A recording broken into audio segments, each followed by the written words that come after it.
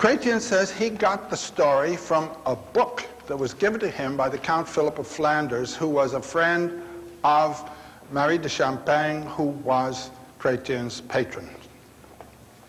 We don't know where the book come, came from, but this is our earliest source for the Grail story. And then the Chrétien simply turned it into verse, into Old French verse. Chrétien was a virtuosic versifier. One of the German scholars said he could shake couplets from his sleeve like a magician. It ripples along. He never finished it. Now, he was a cleric, and it may be that as he went along with the story, he felt he didn't like what it was leading to. The story was continued, as he left it, by what are called Chrétien's continuators. Some scholars see three men, some see five there. But they didn't continue the story. They brought in a lot of other Celtic material dealing largely with Gawain and another set of adventures entirely. I spoke of then the Queste del St. Graal, the two Cistercians who wrote the story from a monastic point of view. We don't know who, what their names were. First, the Queste del St. Graal, and then after that, the Histoire del St. Graal.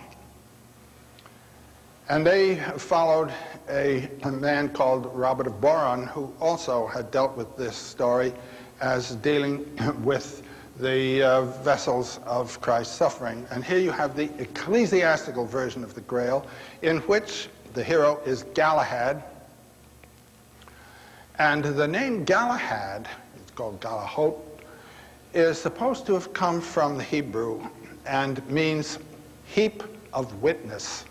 And uh, it's definitely an ecclesiastical accent. One of the things you get in that story is the disqualification of most of the knights because of their uh, secular character. And there are only two that come through are Sir Bors and Sir uh, Galahad. Poor Lancelot uh, came very close to experiencing the Grail. He came to the castle, came to a room, and there was a priest celebrating the Mass who elevated the host. And an old priest, he almost fell down because the host then became the body of the young Christ. It was more than he could hold. And Lancelot compassionately was moved to go into the room and rescue him, and he was struck down because he was unworthy to be present. Why? Because of his love for Guinevere. Now, to be healed of a sin, you have to have true contrition. He could not experience contrition for his love for Guinevere. That's beautiful. I mean, that a monk could get that one in speaks very well for him. Uh, the story, however, was uh, developed to the full by Wolfram von Eschenbach, who was a Bavarian knight. And he understood knighthood and what it was about in a way that Gottfried never did, in a way that the monks couldn't. And here you have the hero Percival, Parsifal, as the ideal of the 12th century knight. I'm going to sit down if you don't mind to do this. Um, just because it gives an atmosphere of telling a story. the, um, the story is, and, and uh, well, Wolfram says Chrétien didn't understand the story. I have, says he, as my source, the poet Kyot, K-Y-O-T. We don't know who that was. But Kyot is supposed to have been in Spain. And he is supposed to have gotten the story from a Moorish alchemist. So there are alchemical themes in this story.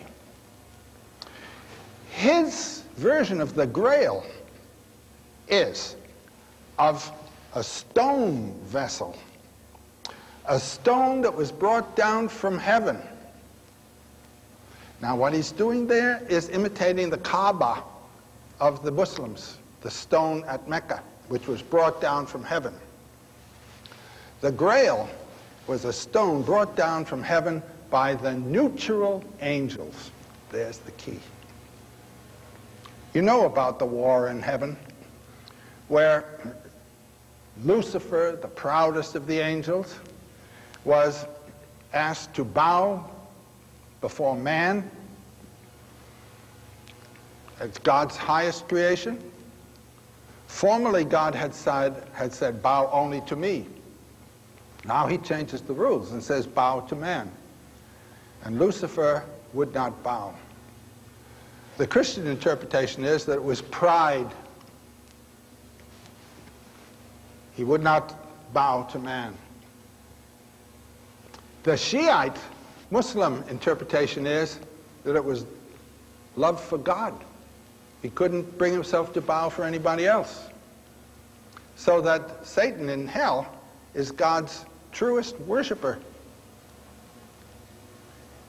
Now they say that the great pain of hell is not that of fire or whatever, but the loss forever of the sight of your beloved, which is God. And what supports Satan in hell? His memory of the voice of his beloved when his beloved said, Be gone. This is the Shiite version of it. Well, one way or another, here was this war in heaven, and there were angels who sided with God, and there were angels who sided with Lucifer. A pair of opposites. You understand that the metaphysical mystery is to go past all opposites. Where you have opposites of good and evil, you're simply in the field of ethics. Adam and Eve were thrown out of the garden when they knew the difference between good and evil. The nature knows nothing of that. The neutral angels, neither on God's side nor on the devil's side. And Wolfram interprets the name of Percival as Perceval, the one piercing through the middle of the valley, going between the pair of opposites. So you see, this is heresy. We're in the realm of Gnostic traditions right away here. This is difficult stuff. Wolfram begins his whole uh, romance with a long verse to the point that black and white are the qualities of every act. Every act has both good and evil. What are you going to do living?